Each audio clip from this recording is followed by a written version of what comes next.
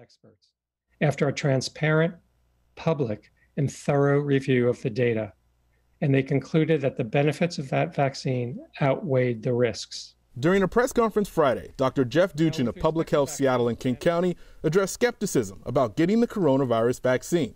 All vaccines, including COVID 19 vaccines, must go through multiple phases of testing for safety and effectiveness. A recent Pew Research study showed just 60% of Americans say they'll receive the vaccine. Dr. Duchin addressed concerns over how fast the vaccine is being manufactured. Because vaccines are being produced at the same time they're being studied, so, to, so that if they are shown to be safe and effective and are approved, the doses will be available right away. He explained how these vaccines are different from others because they don't contain the virus itself. Instead, coronavirus vaccines use a new molecular blueprint called mRNA. mRNA, which instructs our cells to make a protein that's similar to a protein found on the surface of the coronaviruses.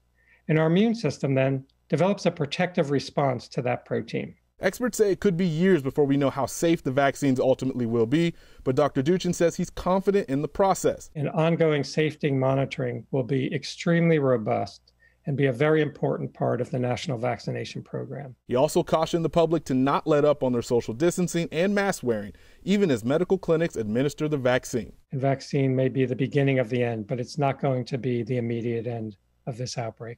Tony Black, King 5 News.